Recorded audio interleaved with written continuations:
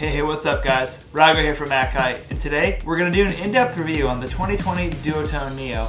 So, back in the summer, Blake Olson and I had the chance to test all the 2020 gear in Tarifa, and we decided to tag team this video, so we're going to jump back and forth between the two of us and just give the different perspectives. Hey, what's up guys? This is Blake from Mac Kiteboarding here, and today Rygo and I are going to be doing a review on the 2020 Duotone Neo.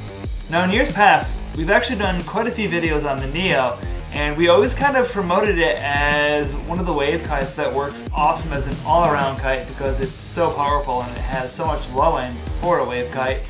But I kind of realized that in a way we've almost done this kite an injustice because it's actually an incredibly good wave kite in itself. So I wanted to focus on that aspect of the kite and give you everything you need to know.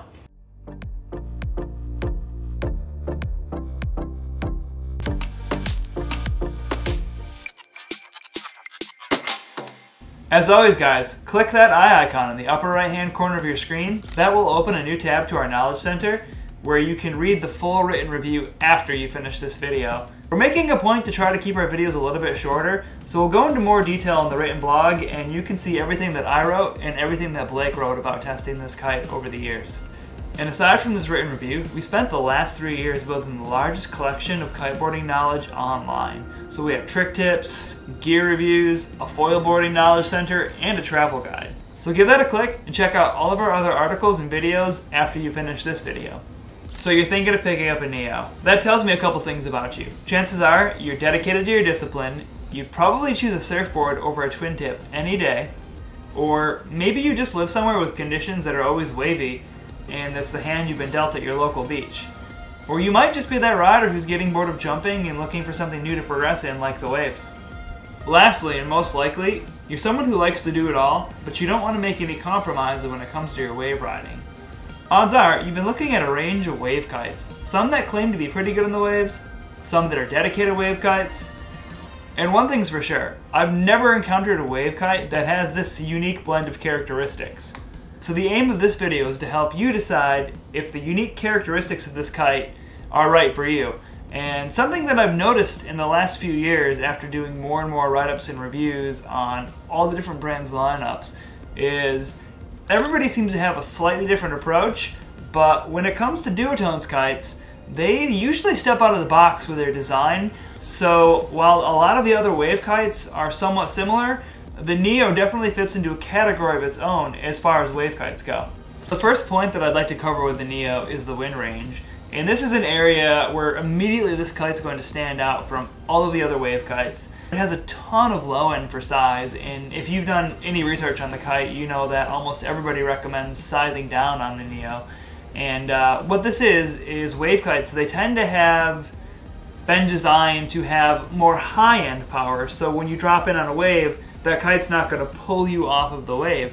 But the Neo, it's a very, very grunty kite, so you absolutely have to size down because you will get overpowered faster than you think.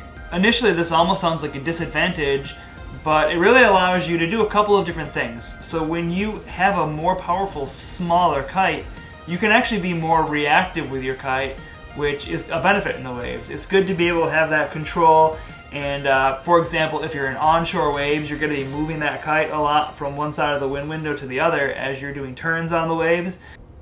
And at the end of the day, in the waves, having a smaller, more reactive kite is a huge advantage. So being able to size down and get the same amount of power out of, say, like a, uh, a 9 meter as opposed to a uh, 10 or 11 of another wave kite is a bit of advantage because you're going to have a more reactive kite. And as well, uh, I've really come to appreciate the low end grunt of the Neo. So it almost sounds like having all of that low end would be an issue, but like all the other wave kites, the Neo, you can sheet out and dump all the power from the kite. So you're not gonna get pulled off the wave. You don't have to worry about the kite being overbearing and kind of taking away from your surf experience. But it's really nice because let's say, for example, you're riding in side-on conditions and you catch a series of waves and you find yourself a half a mile, a quarter mile from your starting point, and you need to get back upwind to where you can land your kite or with your crew of friends. And sometimes it can actually be challenging to get back upwind on some kites that have less power. And I found, in my experience, after testing all the wave kites that we carry, that with the Neo, it's the easiest kite for me to get back upwind And that's kind of one of the funny things about kite surfing in the waves is I always find that uh, as I'm making my way back upwind, I always seem to come across the best wave. So of course you have to catch that wave and then before you know it, you're way further down than you expected. And with the Neo, I've always had an easier time getting back upwind and uh, I feel pretty good about you know taking those waves because I know that I'm going to actually get back to where I started with very little work on my end. Now another weird little benefit that I found about the low end of the Neo is sometimes in onshore conditions, uh, depending on your beach, but where we ride, a lot of times when we're coming in and onshore, the current is actually kind of going in towards the shore, and what happens is it actually takes a good deal of power out of the kite, which is a good thing when you're surfing, but when you're trying to get out past the shore break, it really helps to have that little extra low end to really charge through and get past that shore break. And that's something that has been noticeable for me when taking a Neo compared to another kite that might not quite match its low end. For example, when I'm out on the Dice or another wave kite that's uh, got more high end, it's very noticeable having that little extra power with the Neo. And, you know, as well, the extra power is what's made it a very popular freeride kite.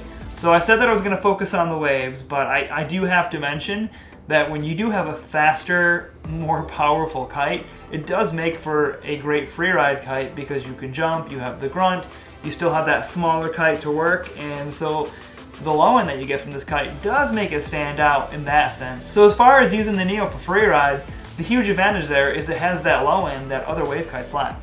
Hey, what's up guys? This is Blake from Mac Kiteboarding here, and today Rygo and I are going to be doing a review on the 2020 Duotone Neo. My first impression of this Neo was I was very pleasantly surprised. Um, I was shocked actually, because I've always ridden like big air, kind of big hang time, freestyle, freeride kites. I've, FX was my main kite for many years. But um, after riding this Neo, I definitely think that I'm gonna be switching over to at least one kite in my quiver being a wave specific kite.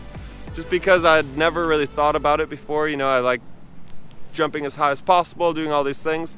But when you actually have a wave kite that's designed to pull in and dump power so quickly, especially for the foil, which is what I mostly rode it on. Um, I was just able to do tricks that I had never done before and I just felt so comfortable and everything was so easy that I was really surprised. I don't even know how to put it. It's just, it flies so well and it's so smooth and like if you want to dump the power and not have the kite pull you, you just push that bar out and you lose all the power instantaneously. And then pull it back in and catch it when you want to. You can use that to your advantage for foiling, whether it be doing tricks or maneuvers and everything. And I just really liked it and had a great time um, foiling on the Neo. So Rygo's gonna give you a little more perspective. He was riding a surfboard quite a bit as well. So he's kind of more the surfing aspect, whereas I'm more the foiling aspect, but we did get to carve some waves on it and had a really good time. So let's talk about the bar pressure and feel. And this is something that's really unique about the Neo.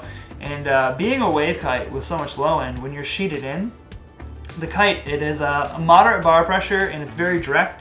And as you sheet out, almost like a dimmer switch, that power starts to dump. And as you get all the way out, you dump all the power out of the kite and the bar pressure starts to feel a bit lighter. And while you still have full control and a bit of feedback, it just takes on some different characteristics. So another really useful benefit of the Neo is you can really fine tune the kite to whatever style you're doing and uh, the conditions you're facing for that day. So if you want to use the kite for a strapless freestyle, strapless air, or even freeride like I talked about, you can really fine tune it for that specifically. And if you're going into the waves, you can set it for maximum drift and really find that feedback from the bar that suits your needs. So one huge thing that stood out to me on the Neo is uh, it really took me aback because lately I've been riding a lot of crossover kites and these usually work good in the waves, you know, like the Dice, for example. You can ride the waves really well with that kite, and I've mentioned that you have to be very interactive, you're always working the kite. And it's a strange thing with a kite like the Neo. When you drop in, the kite can actually even drift a bit behind you, and then it will drift along with you. And it's a very strange thing, uh, not having to really give any feedback to the kite, and you can, which I mentioned when you sheet out and take that power out, the kite still responds. And even more unique is even when the kite's drifting and your lines are somewhat slacked, it still has some response. And this is really where the magic of the Neo or any other wave kite comes in, is they drift. And we talk about this a lot, and I think sometimes people don't really realize what a big difference this makes in the waves, because you can really focus on the wave, you can focus on the surfboard, it's going to feel like surfing, and you don't have to worry about the kite. And the difference is night and day when you're crossing over from all around kite, a crossover kite, and you're riding specifically in wave conditions. Wave kites make it such a different experience and if you are interested in say doing maybe 60% waves, 40% twin tip, you definitely want to go for a wave kite, whether it's the Neo or any, any other wave kite, because it's going to make all that much more difference in the conditions that you're riding in and the experience that you have in the waves. So let's talk about the waves. And obviously this is where the Neo stands out. It's a wave kite. It's going to perform better in the waves. And, and the reason for this is you're going to see a lot of other kites like the Dice, the Evo, all the other all-around kites. And for the most part, when it's side shore or even side off, these kites perform really well on the waves because you can be very interactive with them and they work well for the conditions. But once you start getting more into side-on conditions and onshore conditions, the wave kites really start to stand out because you can fine tune them specifically for those conditions and as well the drift is going to make all the difference in the world because you will always be paying attention to another kite. You always try to keep a mild edge, you know, you have a bit of tension in the lines, you're working the kite, you're always paying attention to it, and it's just one more thing to think about. But with a wave kite, when you drop in, you don't even think about the kite. It's completely out of the picture. The kite just does what it needs to do. So it's really cool because you can actually go surfing with a wave kite. You can really focus on your board, focus on your edging, focus on that bottom turn, try surf tricks, and you're not worried about your kite.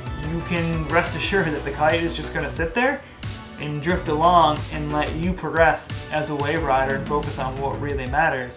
So that's really the most standout thing here. So in summary here guys, the Neo really is a kite that fits in a category of its own.